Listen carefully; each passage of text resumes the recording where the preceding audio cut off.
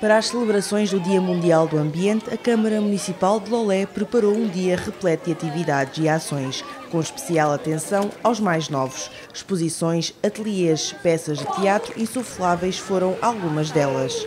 O Parque Municipal da cidade, em particular o Centro Ambiental e a sua zona envolvente, receberam cerca de 500 crianças, que participaram ativamente em diversos momentos de caráter ambiental. Uns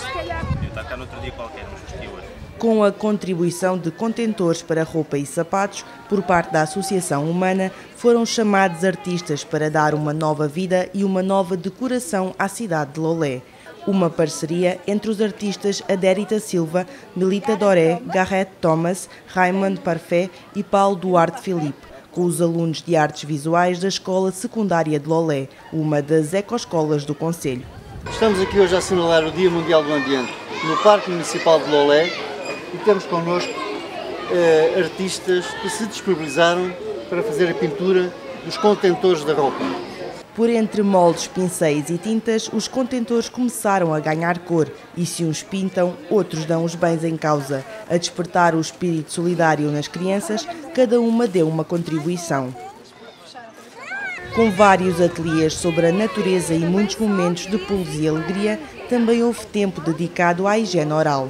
A equipa escolar do Centro de Saúde de marcou presença e levou a Dona Crocodila e a sua dentadura para explicar como se escova os dentes, além de também sensibilizar os alunos para outras questões de saúde. Outro dos pontos altos do dia foi uma peça de teatro dedicada ao tema do desenvolvimento sustentável e biodiversidade. Com cerca de 300 miúdos a assistir, o teatro fez as delícias da casa, cativando todos os alunos do pré-escolar através da interação.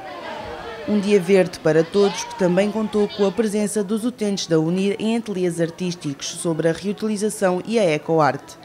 Além de atividades ao ar livre, este dia também ficou marcado pela mostra de trabalhos dos alunos do Conselho, uma exposição diferente que inclui a utilização de materiais diferentes para a sua concepção.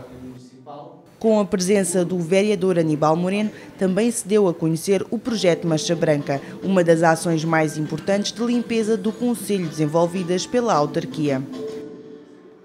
Um dia memorável que assinala o Conselho Verde que Lolé tem tornado e sensibiliza as próximas gerações para um futuro melhor.